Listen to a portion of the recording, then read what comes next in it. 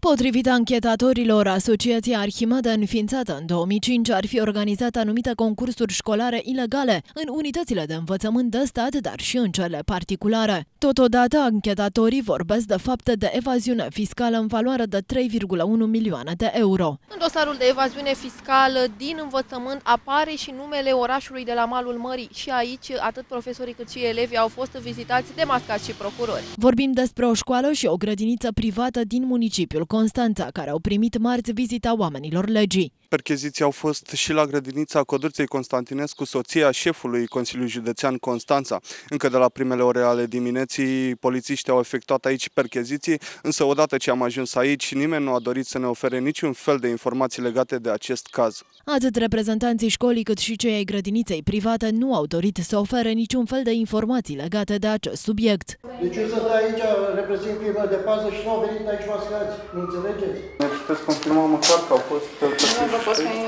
Conducerea Inspectoratului Școlar Județean Constanța a refuzat sistematic în ultimii trei ani să organizeze astfel de concursuri în școlile de stat din județ. Acele concursuri care se organizau acum mai bine de trei ani, se organizau în alte condiții decât cele prevăzute de lege și cum uh, este evident și astăzi, acele venituri nu au fost evidențiate fiscal o încălcare gravă a legislației și nu neonorantă pentru noi cadrele didactice. Noi oferim educație, ne implicăm și încercăm să-i ajutăm pe copii să obțină rezultate cât mai bune. Fondurile colectate din taxele de participare au fost înregistrate drept cheltuieli fictive, bugetul de stat fiind prejudiciat cu peste 3 milioane de euro. Este un derapaj grav de la educație, după părerea mea, și, așa cum am spus,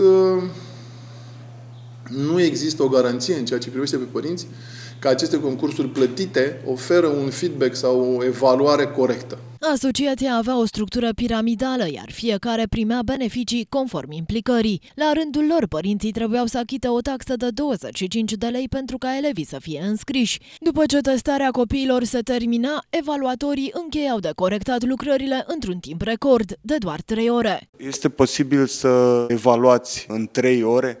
Nu se poate, deci în trei ore nu se poate, oricât am vrea, pentru că volumul de muncă este mult și altfel uh, seriozitatea n-ar, uh, nu ne-ar da voie. ISJ Constanța a desfășurat în ultimii trei ani diferite concursuri pentru elevi, fără a percepe însă vreo taxă.